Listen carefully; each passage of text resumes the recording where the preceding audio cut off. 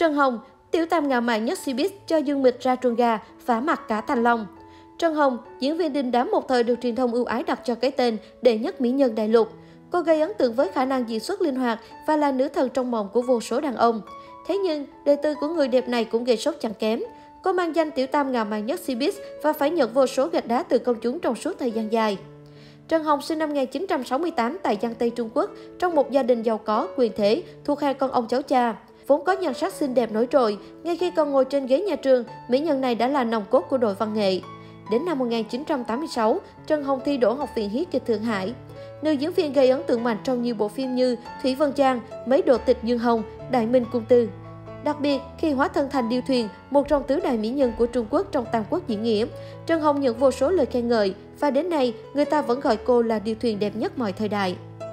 Mặc dù diễn xuất chỉ ở mức ổn, khó mà đo được so với những diễn viên đình đám cùng thời, nhưng nhan sắc nghi nước nghiên thành lại là yếu tố quan trọng, giúp nữ diễn viên nổi bật bật như showbiz, khiến biết bao người phải mê mẩn.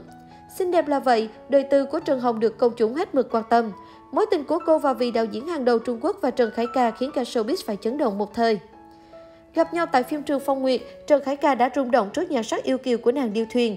Hơn nữa, sự mạnh mẽ, cá tính của nữ diễn viên kém 16 tuổi này cũng để lại ấn tượng mạnh trong bào quân chốn phim trường.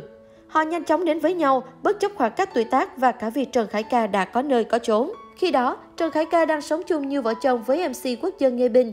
Cả hai đã yêu nhau suốt 8 năm. Trong tang lễ của cha Trần Khải Ca, Nghê Bình cũng đứng ra lo liệu chu đáo và được cả nhà họ Trần công nhận là con dâu. Họ chỉ còn thiếu một cái đám cưới là đủ thủ tục mà thôi.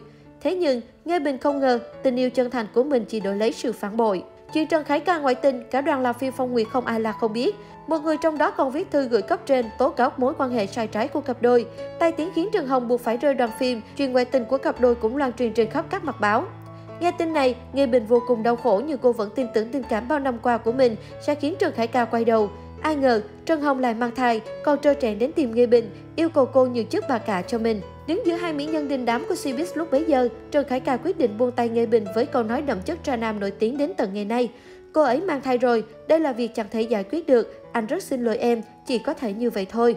Lời nói của vị đạo diễn họ Trần đã dập tắt tình yêu trong lòng Nghệ Bình, cô buộc phải rời đi trong cay đắng. Sau khi ép bà cà thoái vị, Trần Hồng hạnh phúc nhận lời cầu hôn của Trần Khải Ca. Cả hai ra nước ngoài sinh sống một thời gian, tránh xa đồ sóng ngọn gió của dư luận.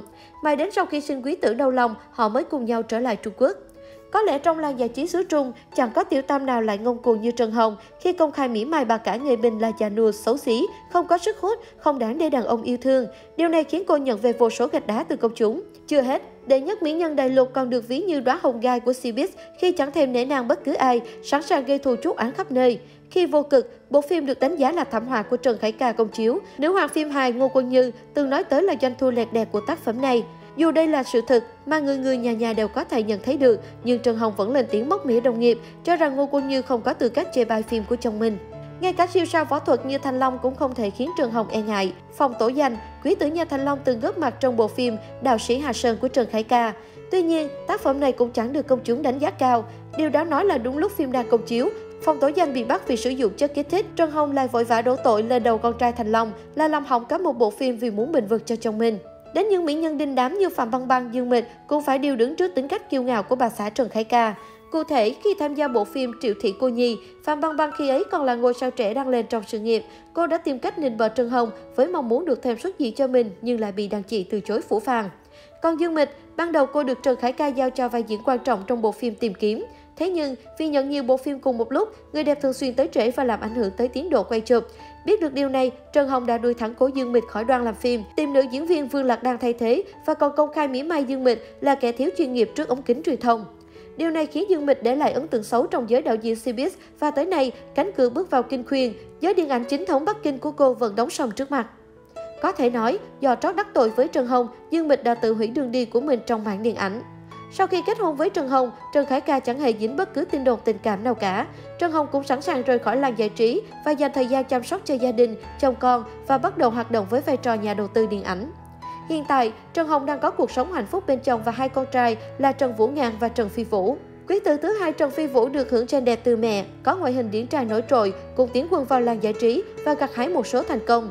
Có thể nói Tiểu Tam và người ghét năm nào đang có cuộc sống vô cùng đáng ngưỡng mộ. Tuy nhiên, đệ nhất mỹ nhân đại lục cũng chẳng thể tránh khỏi sự khắc nghiệt của thời gian. Ở tuổi xế chiều, gương mặt của Trần Hồng có nhiều nét rất giống với Nghê Bình, người mà cô từng mỉa mai là xấu xí, không có chút hút trước kia. Chính vì vậy, không ít người cho rằng đây là quả báo của tiểu tam ngạo mạn nhất khi chen chân vào tình yêu của người khác.